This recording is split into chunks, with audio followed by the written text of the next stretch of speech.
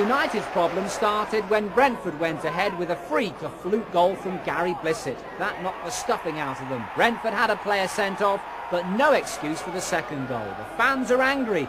They've every right to be when you see a team give away goals like this. Bennett the scorer, Brentford the winners, 2-0.